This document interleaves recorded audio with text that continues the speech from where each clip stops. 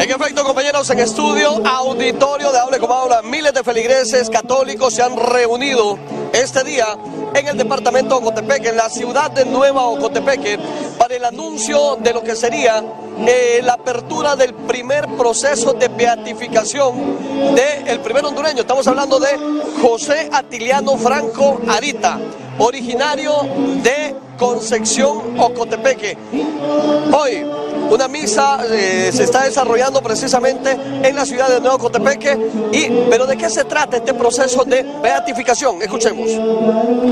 Monseñor quiso para este día convocar a los delegados para hacer el primer encuentro diocesano de delegados de la palabra de Dios.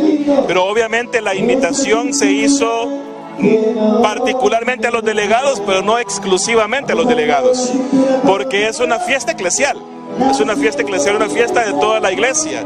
O sea, decir que un hermano de nuestra iglesia, alguien que como nosotros también tuvo sus luchas personales, pero que en medio de esas luchas supo dar una respuesta a Dios, hoy va a iniciar un camino a los altares.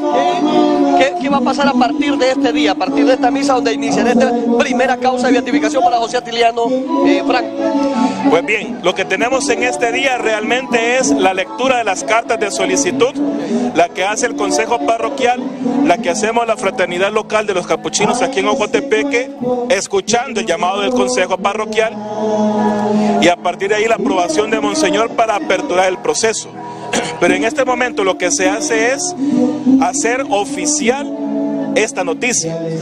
Propiamente la firma de las actas y de los decretos, Monseñor lo quiere realizar en una fecha próxima en la sede catedral, en la iglesia catedral, que es el lugar propicio para hacer ahí oficial apertura de la causa.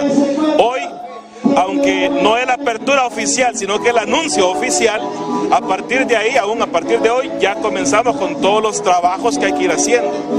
De hecho, al final de la Eucaristía, vamos a pedir que, por ahí anda el hermano que anda con la lista, que aquellos que conocieron a Tiliano, que nos sirven como testigos, que pasen con él para anotar su nombre y su contacto.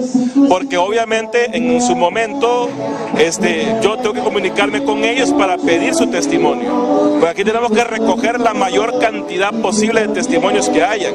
Porque al fin y al cabo, la causa, los que la piden, es el pueblo. El obispo lo que hace es escuchar la petición del pueblo de Dios.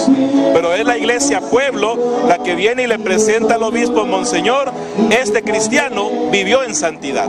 José Atiliano Franco Arita un hombre que, según el párroco de la parroquia San José de Ocotepeque, reúne muchos méritos para ser beatificado. Hoy, eh, con esta misa, se hace la anunciación, la apertura oficial de este inicio del proceso de beatificación. Desde la ciudad de Nueva Ocotepeque, con imágenes de David Villeda, yo soy Santiago López para hablar como habla, el referente de las noticias en Honduras.